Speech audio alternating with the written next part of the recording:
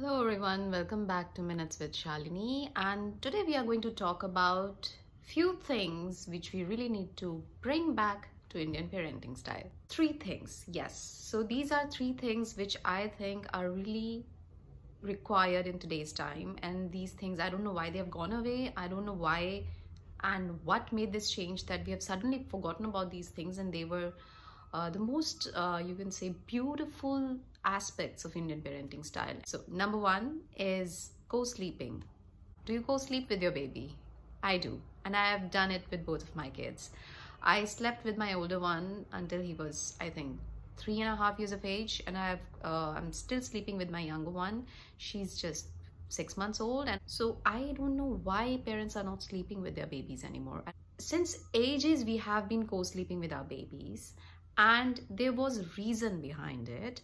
And without realizing without really digging into the details we suddenly just out of nowhere picked up this um, western way of uh, putting them away to sleep. And somehow this became a trend. And I don't know why and what made it so, but this is how it is today. And this is what needs to change. We really need to start co-sleeping. So if you really read about it, co-sleeping has many benefits starting it is exactly like you breastfeed your baby. So breastfeeding is not just from the nourishment point of view. It doesn't only gives nourishment to the baby it also makes the baby emotionally secure and it builds the bond between the mother and the baby. The baby sleeping with both the parents is another extension to that. It is an emotional uh, strengthening exercise that you can do with your baby at least for the first two years, I highly recommend to co-sleep with your baby. Second thing is swaddling. Why parents are not swaddling their babies anymore? Swaddling was our thing. In West also, the doctors, the nurses are literally, literally teaching the parents how to swaddle the baby. But I don't know, I have not seen Indian parents doing swaddling anymore. And this is our way. This is the Indian traditional way of swaddling the baby.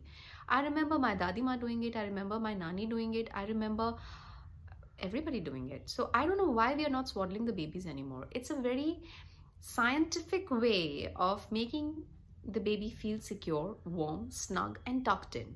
So the moment you swaddle your baby, the baby feels safe. The baby has this uh, emotional feeling of being in the mother's uh, womb and the baby suddenly sleeps and this is how you make your baby feel comfortable and cuddled.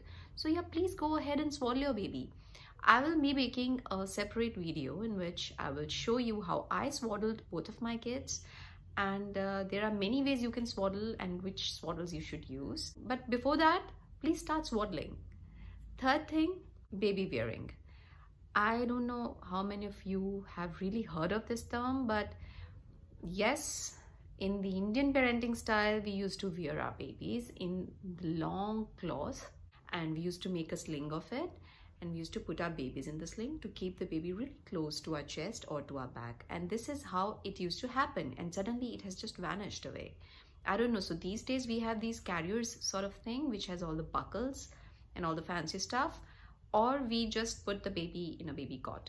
So i don't know why we can't wear the babies. So baby wearing is also one of the best ways to keep your baby as close to you as possible because that's the natural way of bringing up the baby. The baby should be as close to you as possible.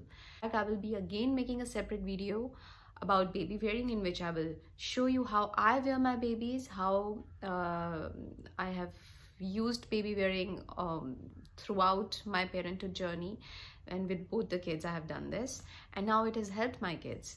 So to really make your babies emotionally strong, secure psychologically and to make them feel really bonded, it's important that we bring back these three aspects into our parenting style. And so please start co-sleeping with your baby. Please start swaddling your young ones because they really need it for the right kind of growth.